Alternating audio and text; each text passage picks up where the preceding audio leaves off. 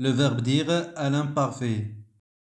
Je disais, tu disais, il disait, elle disait, nous disions, vous disiez, il disait, elle disait. Le verbe lire à l'imparfait.